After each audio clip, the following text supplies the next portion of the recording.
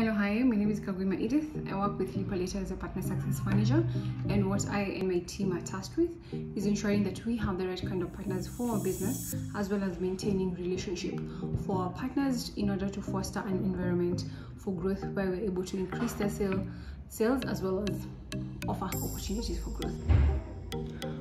One of the key areas that we've been focusing on this quarter is making our customers' shopping experience smarter.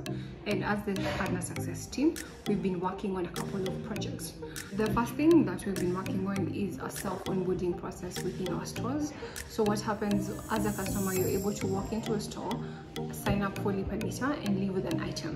So the merchant is able to complete the process from their end um, and the client walks away with the item. Second in line, we've also been working uh, on partner integrations.